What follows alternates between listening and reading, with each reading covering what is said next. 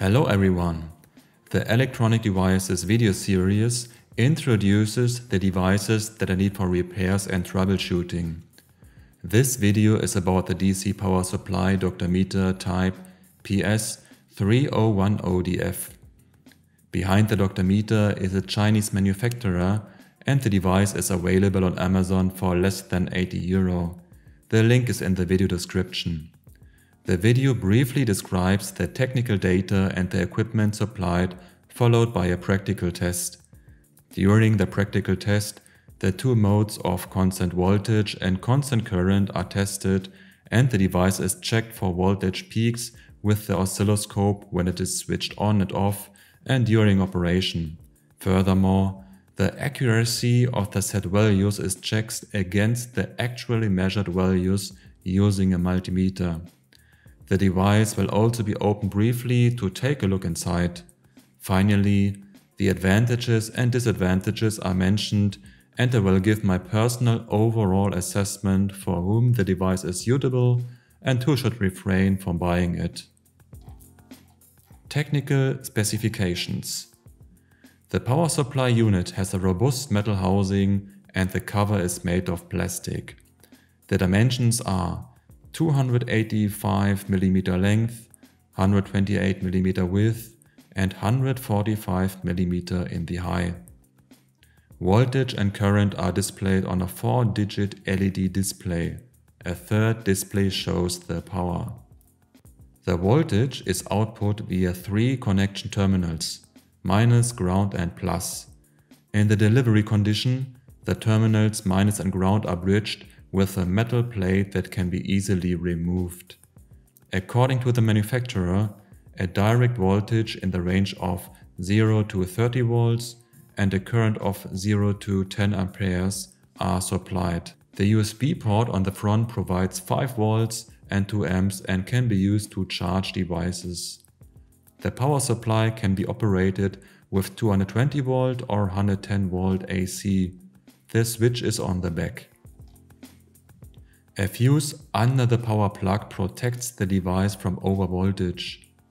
A fan is integrated in the power supply unit which starts up briefly when it is switched on and is automatically switched on when the load is higher.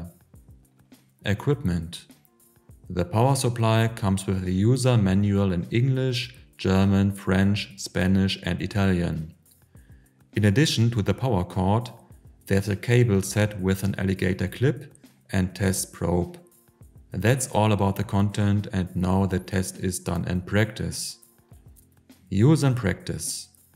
In the first mode, constant voltage, a 12 volt fan is used as the load. The fan has an integrated temperature sensor that changes the speed when touched.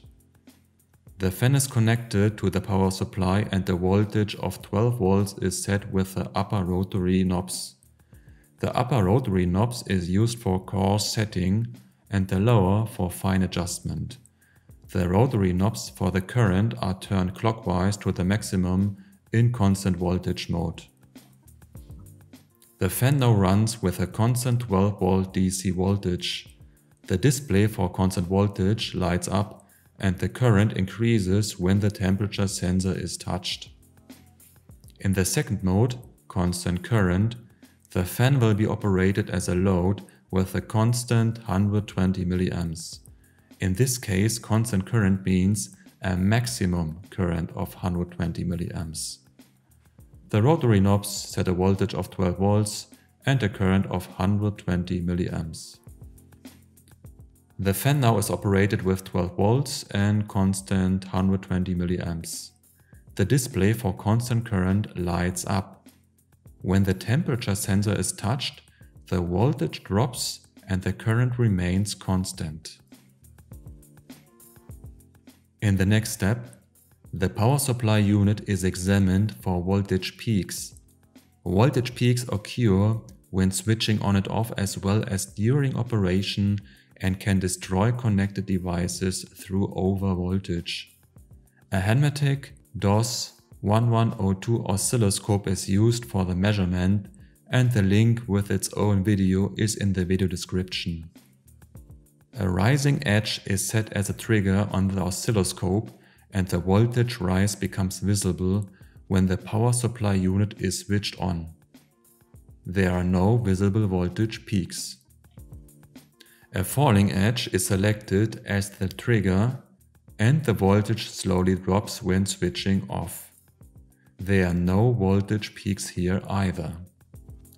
When operating with 12 volts, slight voltage peaks of plus minus 350 millivolts are visible on the oscilloscope, which can be identified as regularly recurring oscillations.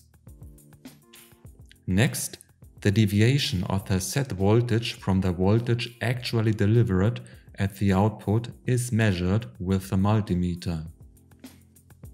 The voltage tolerance is measured from 0 to 30 volts in 5 volt steps. At 5 volts, the deviation is 50 millivolt. At 10 volts, 100 millivolt. At 15 volts, 150 millivolt. At 20 volts, 220 millivolt. At 25 volts, 300 millivolt. And at 30 volts, about 400 millivolt. The deviation increases with higher voltage and is approximately 1% below the voltage value actually set. It is noticeable that a voltage of a little over 30 volts can be set on the device. A fan with a current consumption of 120 mA is used as the load to measure the current tolerance. The 120 mA set on the power supply unit corresponds to the value measured on the multimeter. There's no deviation. Finally, the power supply is opened and after loosening the screws, a look inside the device is made.